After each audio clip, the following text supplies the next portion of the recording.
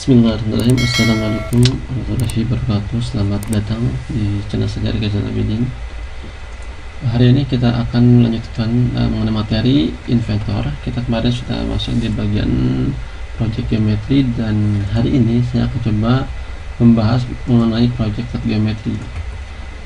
Uh, Kemudian saya sudah dibuatkan ya sampel ini untuk nanti bahas uh, materi tersebut oke teman-teman langsung aja buka inventornya eh, kemudian buat fitur ya mungkin seperti ini bisa ataupun yang lain bisa.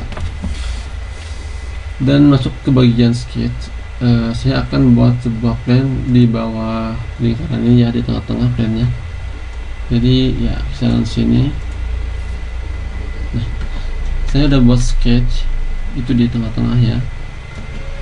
Kemudian uh, kita akan cek projected geometry itu kalau kita arahkan ke bagian filmnya fiturnya dia ada pembahasan seperti ini.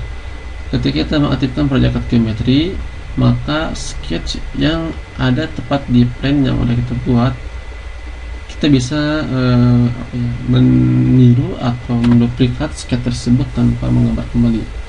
Dan bisa dibuat uh, sketch itu untuk di extrude ataupun diproses next uh, 3D seperti itu. Contohnya ya ini saya udah buat fitur. Tinggal kita aktifkan proyek geometri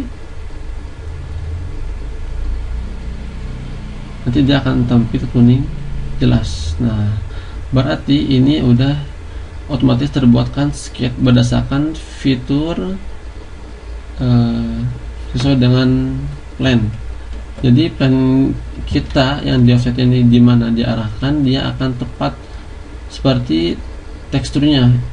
Ini kan dia kalau semakin bawah semakin gede lingkarannya ya.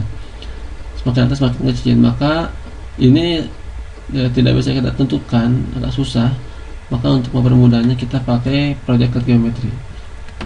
Kalau saya misalkan uh, dipotong seperti ini dia terlihat nah, ini bisa di extrude lagi kalau udah ada sketch seperti ini. Misalkan saya masuk ke bagian ini ya extrude. Nah.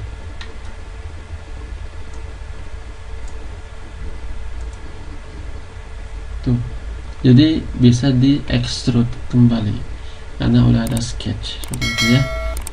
E, itu mungkin penjelasan singkat mengenai project geometry jadi ringkasannya ketika kita membutuhkan sebuah sketch di tengah-tengah setelah kita cutting maka sketch tersebut bisa kita gunakan untuk uh, diproses next 3D ya. Ataupun diproses apalah itu ya. Yang penting sketch ini kita bisa gunakan untuk uh, membuat sebuah fitur 3D nya.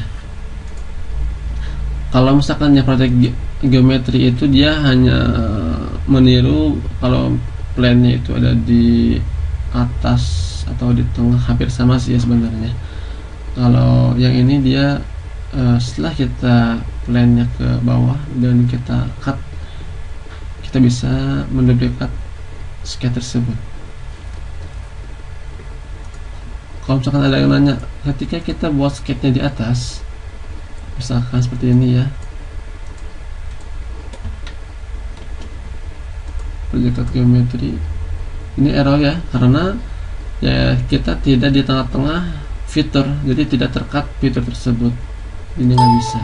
Itu kekurangan dan kelebihannya. Oke mungkin itu yang, yang bisa saya sampaikan. Semoga bermanfaat videonya tutorialnya. Jika ada komentar silahkan komentar aja masukkan pun ataupun saran untuk tutorial selanjutnya. Terima kasih jangan lupa subscribe, like, komen, dan share video ini ke teman-teman kalian yang sedang belajar juga. Assalamualaikum warahmatullahi wabarakatuh.